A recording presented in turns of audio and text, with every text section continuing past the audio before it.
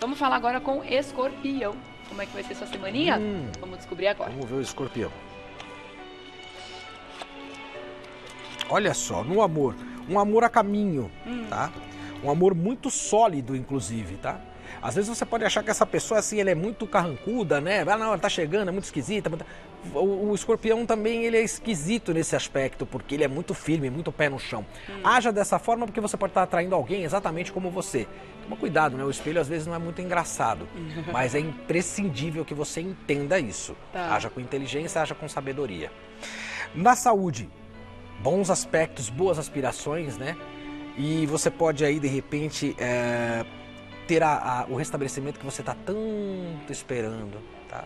Que bom. Então, assim, é, é ótimo. imprescindível que você mantenha a calma e a tranquilidade. Tá. Para dinheiro, surpresas também a caminho, sorte no jogo, tá?